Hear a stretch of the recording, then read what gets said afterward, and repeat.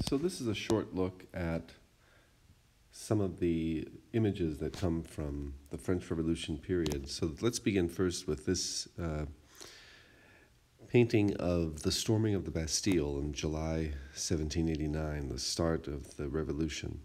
And let's ask what did the Bastille represent to the Third Estate, to the revolutionaries? Um, the Bastille was a uh, fortress. It was, uh, it was not first and foremost a prison, uh, but rather uh, an armory where weapons were kept for uh, the French military. Uh, soldiers were housed there. Um, and now, at the time of the storming of the, of the Bastille, there were um, a handful of uh, political prisoners. Uh, but the, um, the first and foremost purpose of the uh, Bastille was as a uh, fortress, armory, um, and headquarters for the French troops. but to the eyes, in the eyes of the Third Estate, the Bastille represented the oppression um, that they experienced at the hands of the, uh, uh, the monarch and, and nobility. Uh, these two images are political cartoons from uh, the 18th uh, century that depict the um, uh, three estates and the inequalities of those estates. And in our classes, we talked about the inequalities, um, and uh, all of you demonstrated uh, an understanding of what was wrong with that old system, or what was called the old regime. And um, uh, most of our work in the class, we would show that triangle image, if you recall. And at the very top, we would have clergy, and then we would have uh, nobility, and then the peasantry made up the majority uh, of the structure.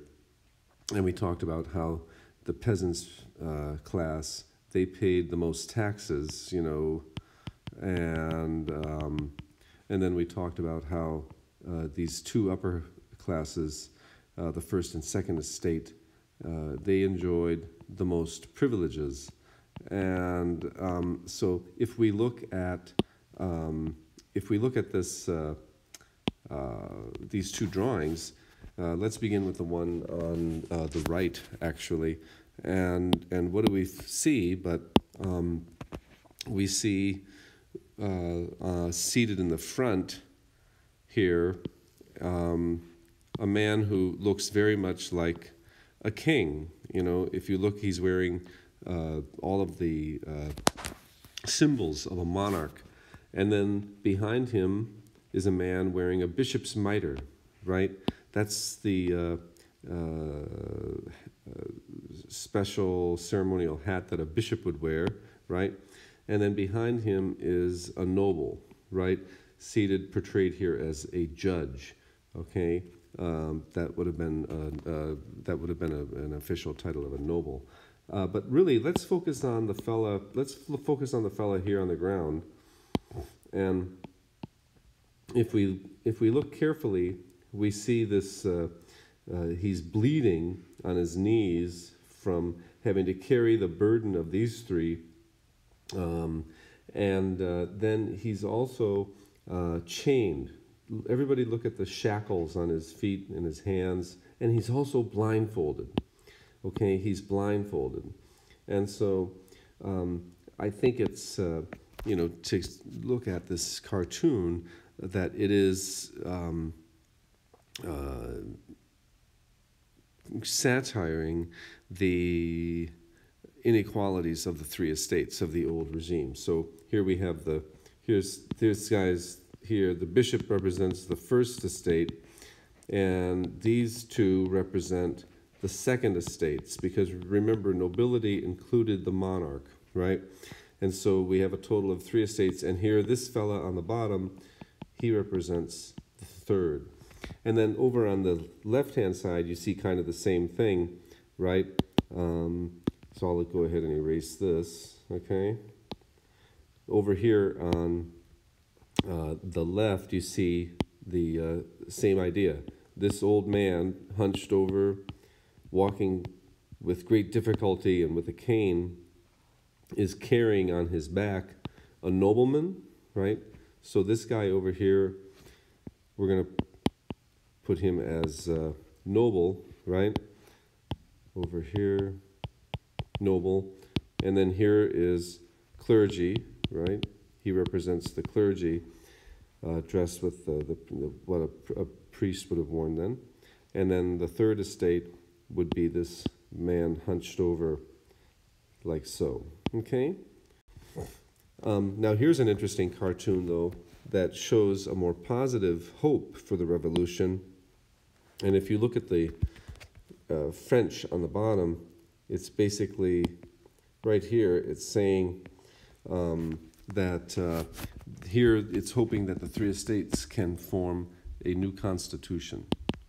If you look at that, uh, if you look at that word constitution, what they're doing is they're doing with great effort, like on an anvil, they're trying to create a new constitution.